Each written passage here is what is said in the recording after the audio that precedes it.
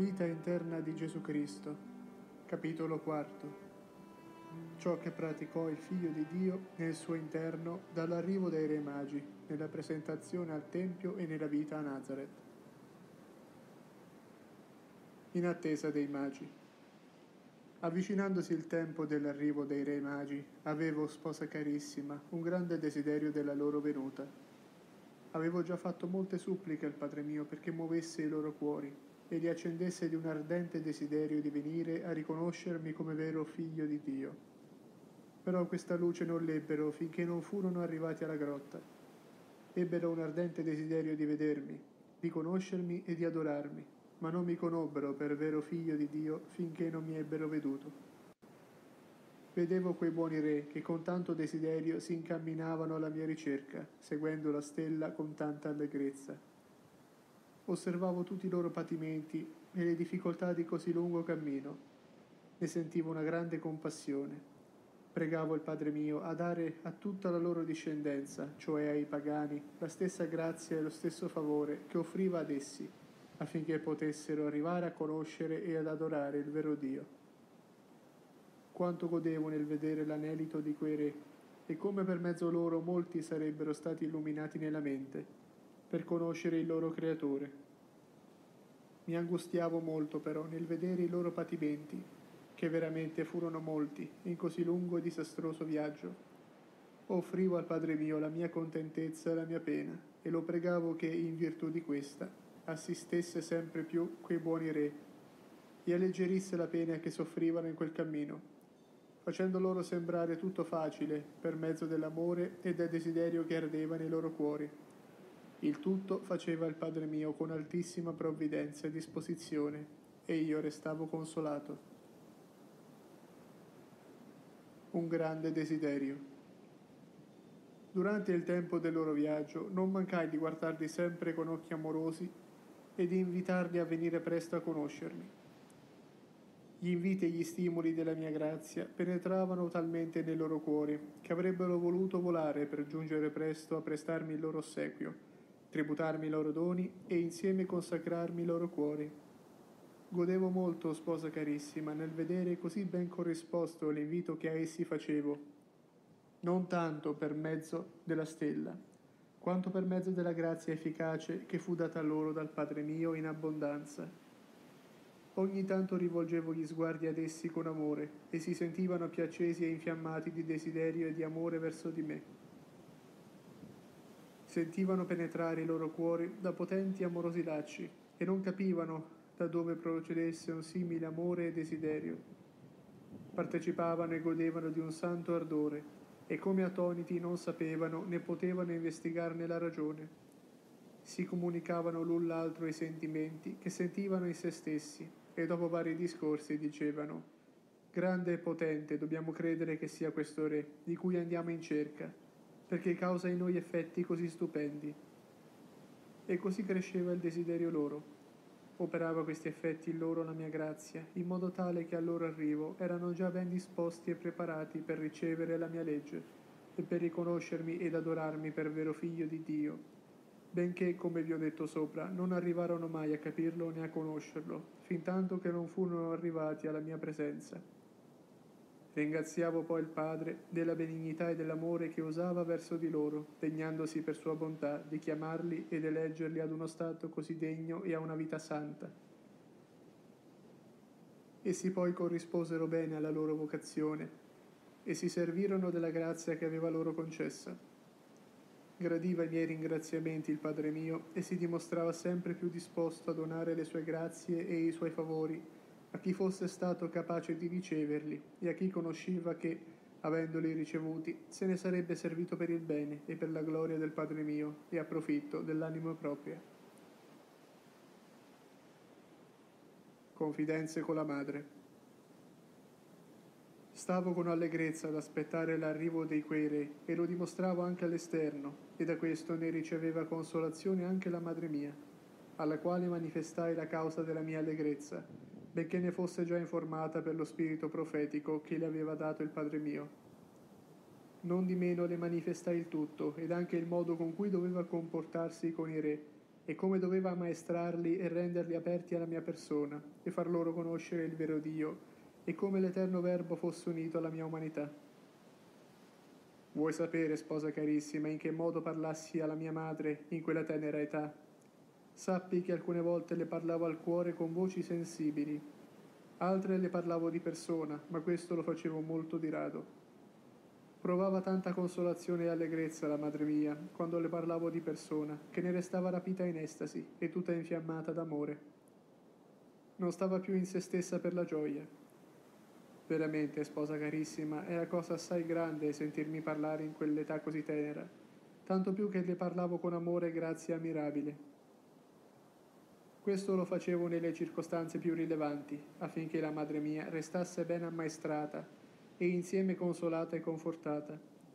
Così feci all'arrivo dei re, quando le parlai di persona e la ammaestrai come vi ho detto sopra. E benché lo Spirito Santo fosse il suo maestro, che la illuminava e la guidava come sua sposa carissima, non di meno anch'io, come figlio amabilissimo, la tenevo informata. Scomparsa della stella. Mentre ero così consolato non mancarono le amarezze che provai prima dell'arrivo dei re, e fu quando arrivati nella città di Gerusalemme si nascose ad essi la stella. Sentivo molto la loro afflizione, li vedevo andare in cerca della mia persona con tanto desiderio, e avevo per essi una compassione molto grande. Pregavo il Padre mio che si degnasse di consolarli facendo loro avere chiare notizie del luogo dove ero nato e che facesse di nuovo apparire la stella che li guidava. Non tardò il Padre amoroso di adempiere le mie suppliche e i loro desideri, e presto li consolò. Gli offrì quella pena che io soffrivo per causa del travaglio di quei buoni re, e lo pregai che per quel dolore che io avevo sofferto si degnasse di rimettere nella via della salvezza quelle anime che si trovavano deviate dal retto sentiero, e in particolare quelle in cui avviene inavvertitamente e senza malizia. Così avvenne a questi re che senza colpa persero la stella quando entrarono nella città, non per altro fine, se non per andare in cerca di me, benché peraltro ebbero poca avvertenza. Avrebbero dovuto seguire la stella che li guidava per il dritto sentiero. Accettò la supplica il Padre mio e mi promise di voler assistere sempre con la sua grazia quelle anime che mi cercano con fine retto e che bramano arrivare alla vera perfezione. Trovandosi queste a volte deviate dal diritto sentiero, non mancherà di dar loro gli aiuti necessari perché ritrovino la via retta, che conduce alla gloria eterna. Lo fa per mezzo dei suoi ministri o per mezzo delle sue sante ispirazioni e con l'aiuto potente della sua grazia, nel modo che è più confacente alla salvezza dell'anima che si trova in simile necessità. Occorre poi che l'anima corrisponda subito alla grazia e agli aiuti divini, come fecero questi re che non tardarono a seguire quello che fu loro ispirato circa il luogo della mia nascita, e ritrovarono subito la stella smarrita. Non fanno però così tutti i miei fratelli, perché disprezzano chi li ammonisce, non ascoltano le divine ispirazioni e ricusano gli inviti della grazia. Per questo sono molti quelli che, incominciando a deviare dal diritto sentiero, non sanno più ritornare allo stato primitivo, e così per loro colpa precipitano di male in peggio, e senza neppure accorgersene si riducono allo stato di dannazione. Allora, per sollevarli e indurli a stato di vita perfetta, ci vuole un miracolo dell'infinita potenza, il quale difficilmente il Padre mio lo concede. Vedevo, sposa carissima, tutti questi disordini dei miei fratelli, e ne provavo grande pena.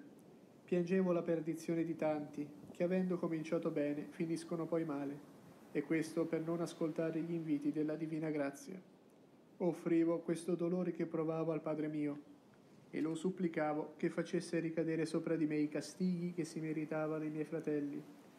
Quanto grande fu davvero il turbine dei flagelli che si abbatté sopra di me con violenza nel tempo della mia passione, benché anche in tutto il corso della mia vita ho provato aspre e continue sferzate. Questo lo faceva il Padre mio per adempiere i miei desideri, i quali erano sempre di soddisfare la divina giustizia per i debiti dei miei fratelli e renderlo placato verso di essi. Non gli chiesi mai di usare la sua misericordia verso di me, perché desideravo che questa la esercitasse tutta coi miei fratelli. Volevo invece che la giustizia la esercitasse tutta verso di me, come infatti dispose il Padre mio, volendo che la giustizia restasse soddisfatta con tutto il rigore. Godevo molto di questa soddisfazione, tanto più che in questo davo a conoscere chiaramente a ognuno quanto amassi il Padre mio, la sua gloria e il suo onore, e quanto amassi anche i miei fratelli, perché per essi ero sceso dal cielo e fatto uomo per redimerli e salvarli.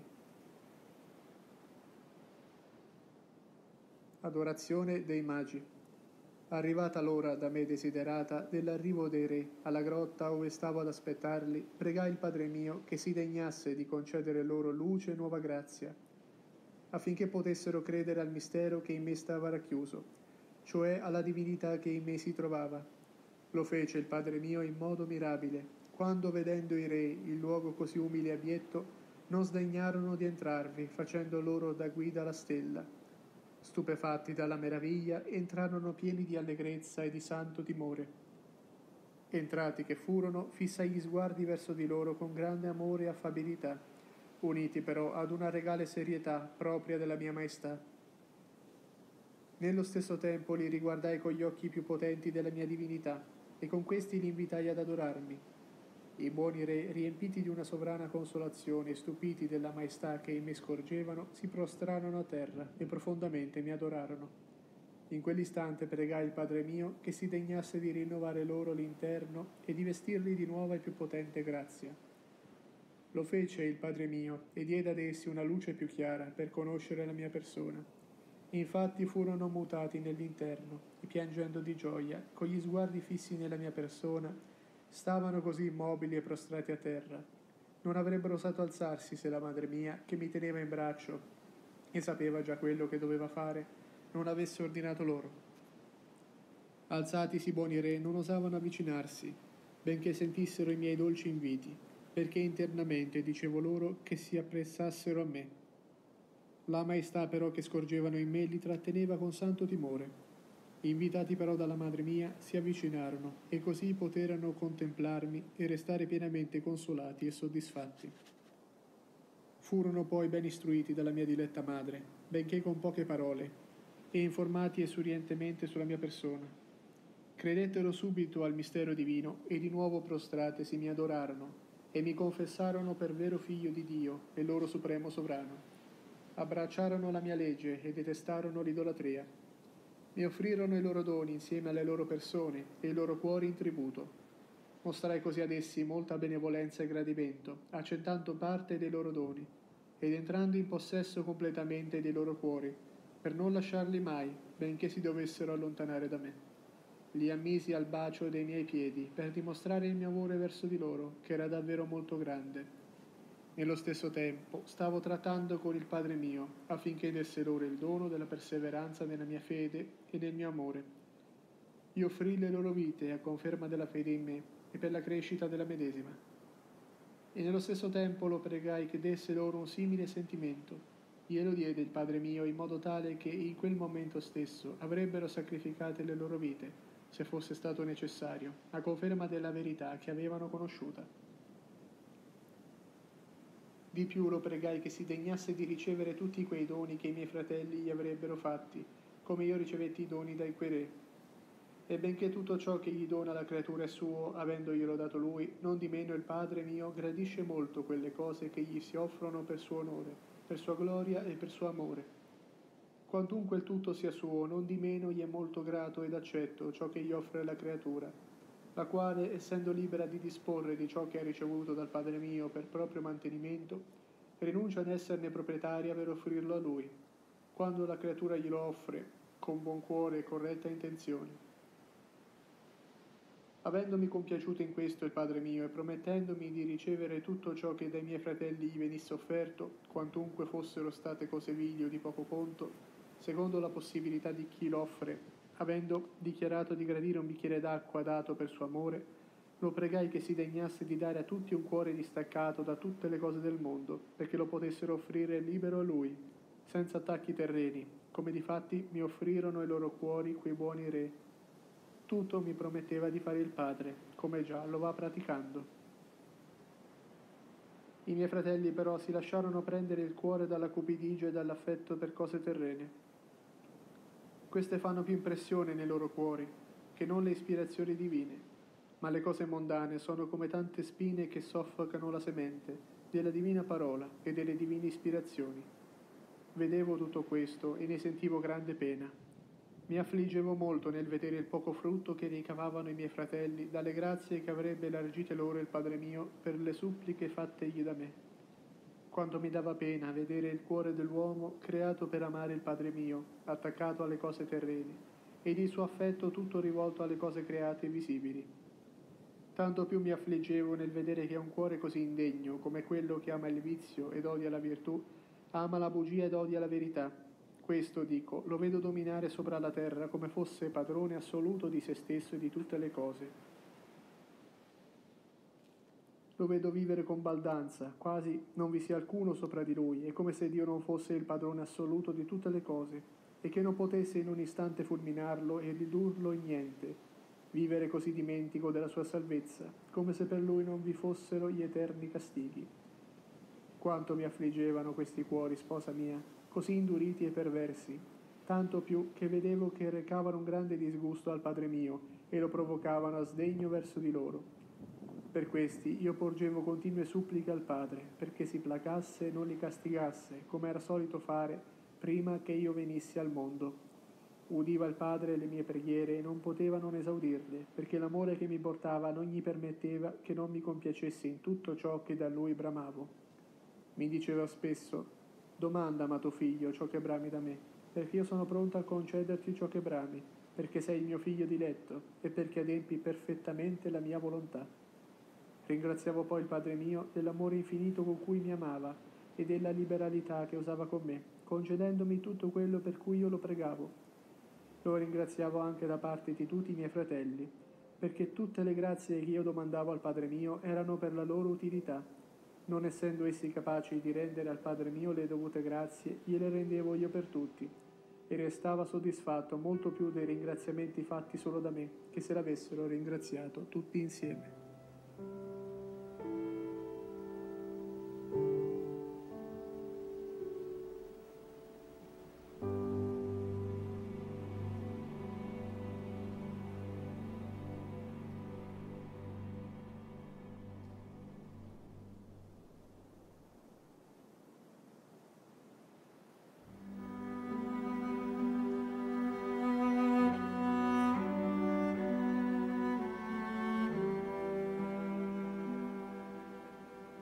Partenza dei magi. Dopo che i re ebbero fatte le loro adorazioni ed offerte, e dopo che furono istruiti dalla mia diretta madre, incominciarono a trattare tra di loro del ritorno ai loro paesi. Spinti dall'affetto verso di me, non avrebbero voluto lasciarmi e stimavano una grande sorte l'aver potuto trattare con me. Ma già avevano saputo che la volontà del Padre mio era che ritornassero ai loro paesi perché con il loro buon esempio potessero dare vita spirituale a molti e condurre la gente pagana alla conoscenza del vero Dio. Essendo essi stati i primi chiamati alla mia fede, dovevano essere come le pietre fondamentali di così grande edificio, che già avevo destinato di costruire, volendo ridurre i pagani alla conoscenza del vero Dio. Decisero di partire e tornare ai loro paesi non si decidevano a partire e poiché i loro cuori erano rimasti preda del mio amore, non potevano allontanarsi da me senza sentire una grande pena.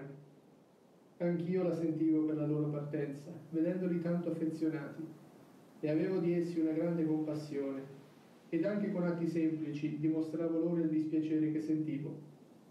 Offrivo quella pena al Padre mio, e lo pregai perché per quella pena che io provavo e per la rassegnazione che avevo al suo santo volere, si fosse degnato di dare tanta forza e virtù a quelle anime che, per adempiere il suo volere, si sarebbero separate dagli amici anche più cari, affinché avessero potuto fare prontamente di buon cuore e si rendessero graditi a lui con un perfetto distacco da tutte le creature.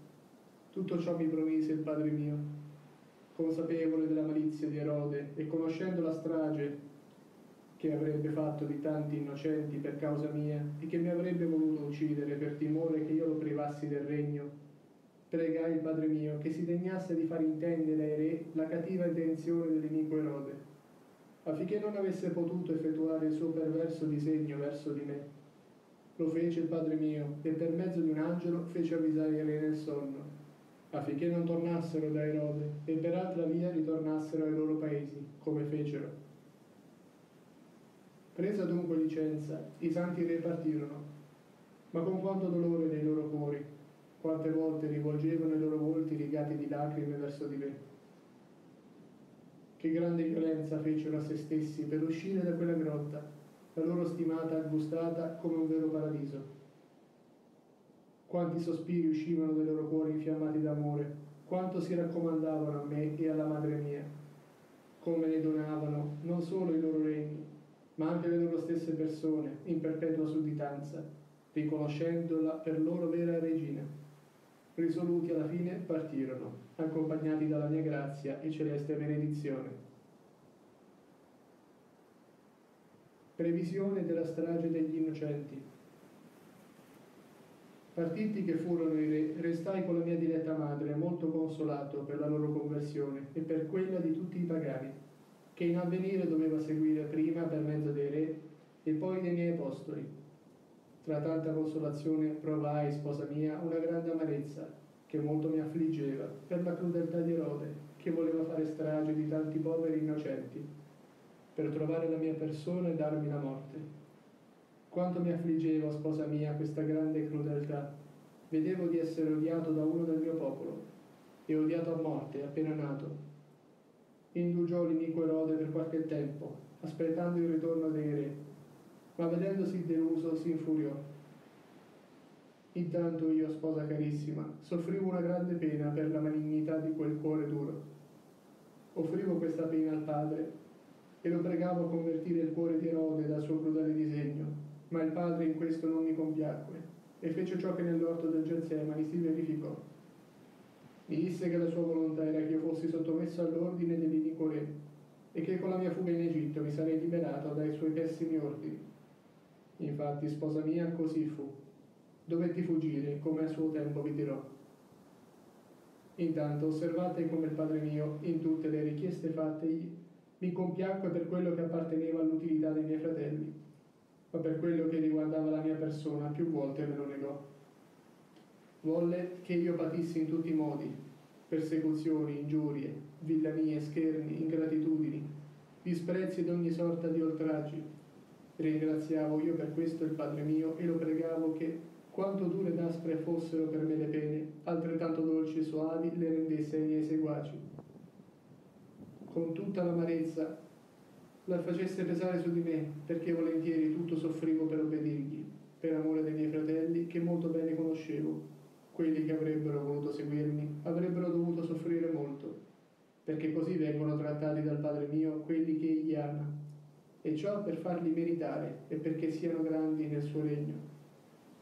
Mi compiacque in questo il Padre mio, e infatti provavo tutta l'asprezza del patire questo era sufficiente al Padre mio per decretare di rendere dolce il patire ai miei seguaci, partecipando ad essi il suo amore e la sua grazia. Veramente, sposa mia, ad un cuore amante sono molto dolci e gradite le pene. Tutto questo in virtù delle mie preghiere. Io solo volli gustare le amarezze senza una goccia di consolazione. E quando sentivo qualche consolazione nella mia infanzia, subito veniva amareggiato da qualche travaglio o patimento essendo partiti dai magi, come dissi, restai con la mia diletta madre. Con volto assai glorioso la guardai, riempiendola di consolazione. Le domandai qualche ristoro ed ella mi porse il suo purissimo latte. Nel prenderlo feci le mie solite offerte al Padre mio come vi dissi sopra. Rimaneva piena di consolazione la mia diletta madre per l'alimento che mi aveva dato, ed io ristorato alquanto mi addormentavo nelle sue braccia Dormiva la mia umanità, ma lo spirito trattava con il Padre mio, poiché non tralasciai mai di trattare con lui, né il sonno mi era di impedimento. Il viaggio di ritorno dei magi. Nello stesso tempo vedevo questi santi re andare ai loro paesi, tanto tristi per la lontananza della mia persona Vedevo anche i disagi che avrebbero patito a ritornare per altra via, molto disastrosa, e quanto per l'amor mio avrebbero patito in quel viaggio così lungo. Pregai il Padre mio di assisterli con grazia particolare e di non abbandonarli mai, come infatti fece. Perché ebbero una grande protezione ed anche l'assistenza di molti angeli inviati a loro dal Padre mio. Benché invisibili ai re, recavano loro molti benefici. Non lasciai mai di guardare quei buoni re con occhi di compassione e di amore, ma in quel viaggio lo feci particolarmente. Pregai il Padre mio che poiché io avevo amore e compassione per quelli che pativano per amore mio, così egli avesse compassione per tutti coloro che per amor mio avessero sostenuto tormenti, patito disastri e intrapreso viaggi per la gloria sua e mia. Si degnasse poi assisterli e di dare a tutti il suo potente aiuto e la sua grazia, inviando angeli il loro soccorso. Mi promise di farlo il Padre mio, come continuamente lo pratica con tutti quelli che patiscono per suo amore e sostengono fatiche per sua gloria, dando a tutti la sua grazia li aiuta e li soccorre per mezzo degli angeli, che in molte occasioni si rendono anche visibili per liberare le creature dai pericoli e da molte insidie che vengono tramate dai suoi nemici. Tristezza di Gesù e di sua madre. Svegliato dal sonno, mi feci vedere dalla mia madre, con volto triste, poiché infatti stavo pensando a quante sofferenze sarebbero stati sottoposti quelli che mi avessero onorato col seguire me e i miei esempi. Sentivo una grande pena per loro e volli provare prima in me stesso tutte le pene ed afflizioni loro, affinché nessuno avesse potuto dire io provo questa sofferenza che non ha provato il mio Redentore. No, sposa carissima, volli provare il tutto prima in me stesso e con molta più sensibilità di quello che provano loro stessi. Lo sentii nell'anima che è la parte più nobile e sensibile, e nel corso della mia predicazione lo provai anche nella mia umanità. Si affliggeva molto la mia diletta madre nel vedermi così triste e addolorato, non sapendone la causa, perché il più delle volte gliela nascondevo per farla soffrire maggiormente, perché così era la volontà del Padre mio. Ella temeva che tale turbamento fosse provocato da lei e così si affliggeva molto, in queste pene veniva però sostenuta dalla grazia divina, altrimenti sarebbe morta di dolore, perché la pena maggiore che lei provava era il timore di aver dato qualche dispiacere a me.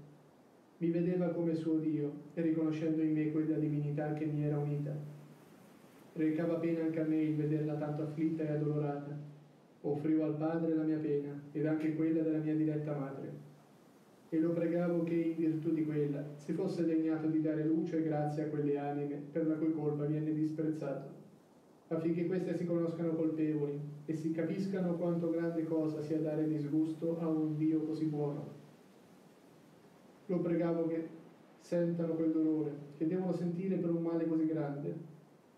E benché l'offesa sia una cosa molto leggera, non di meno si può chiamare sempre grave, perché è contraria all'infinita sapienza e porta dispiacere a una bontà infinita. Sposa mia, quanto mi affliggevo anche per quelle cose stimate minime dagli uomini, ma al cospetto del Padre mio non sono minime, perché qui ha il suo peso l'offesa verso l'offeso e secondo il suo merito.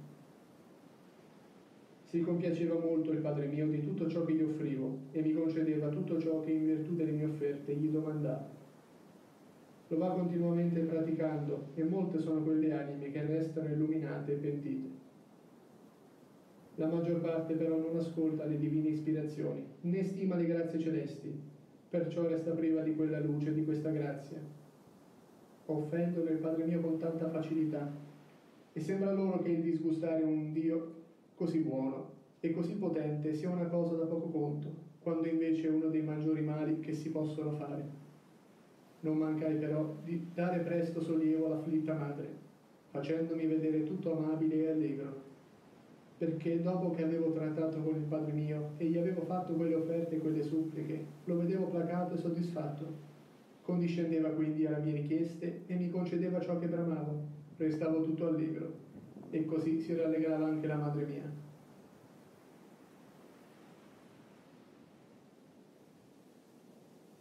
il cibo gustoso e saporito. Continuai a vivere per molti giorni nel modo che vi ho detto sopra, sia nell'esterno che all'interno, trattando con il Padre mio. Ogni volta che la mia madre e il suo sposo Giuseppe si cibavano, li osservavo e poiché per il cibo stesso essi già lodavano e ringraziavano il Padre mio, offrivo quei loro ringraziamenti uniti ai miei e così venivano ad essere più graditi al Padre ed avere più merito. Facevo in modo che quel poco cibo che prendevano fosse gustoso e saporito, già che per la loro povertà e mortificazione non gustavano cibi conditi né vivande delicate. Si rendeva però ad essi tanto gustoso quel poco cibo, benché povero e scarso, che non l'avrebbero cambiato con le vivande più squisite dei mondani. Pregavo il Padre mio che si degnasse di concedere una tale grazia a tutti quelli che nel cibarsi non solo si mortificano nel mangiare parcamente, ma si cibano alla presenza mia, cioè tenendo la mia presenza fissa nella mente loro. A questi sì che si rende saporito ogni cibo, benché povero e disgustoso. Di tutto mi compiacque il Padre mio, ed io davo a lui le lodi più ardenti del mio cuore per me e per quelli che si comportavano così nel cibarsi e che sono da lui favoriti, con il far loro gustare tanta dolcezza, suavità e pace di anima e di corpo. In attesa della presentazione al Tempio.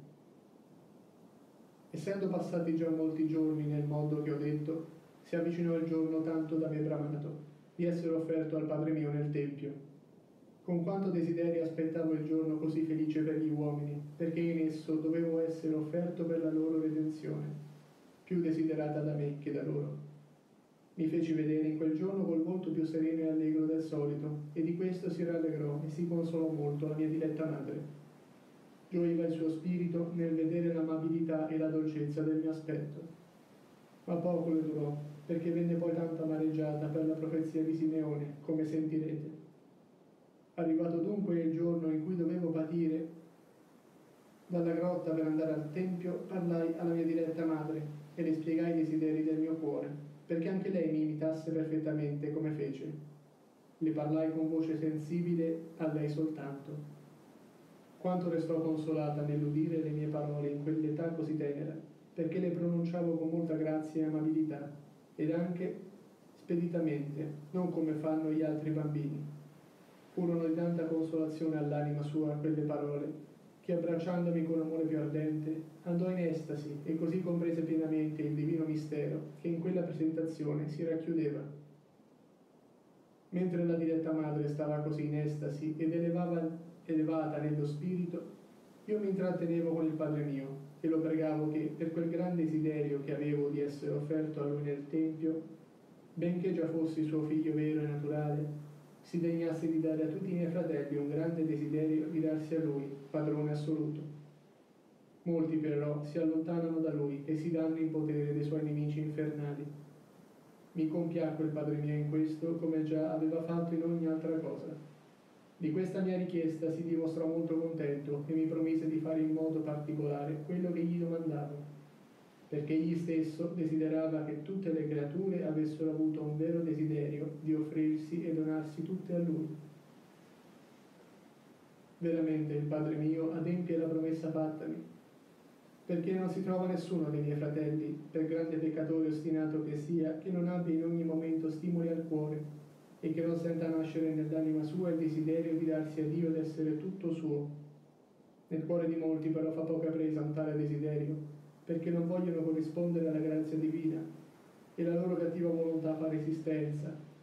Ma ciò nonostante non lascia il Padre mio di dare ad essi stimoli al cuore e di chiamarli con voci amabili. Grande durezza del cuore umano che osa di fare resistenza agli stimoli della divina e paterna bontà, che con tanto amore li invita ad andare a Lui e a donarsi a chi lo creò solo per sé Sentivo, sposa carissima, una grande pena per la durezza dei miei fratelli, perché già li vedevo tutti distintamente, e molto più mi affliggevo nel vedere il Padre mio verso di essi tanto pronto e generoso nel beneficarli, e tanto paziente nel sopportarli. Conoscevo l'infinita sua bontà, il suo amore e l'ingratitudine delle creature, nel negargli tutte le cose che da esse desiderava, e nel regargli anche se stesse, non potevo trattenere le lacrime e per questo ne sparsi in abbondanza, offrendole al Padre mio con tanto amore. E lo pregai che per quel mio dolore e per quelle lacrime a lui tanto care, si degnasse di soffrire l'ingratitudine dei miei fratelli e non desistesse mai di usare verso di essi le solite sue misericordie, come già lo va praticando.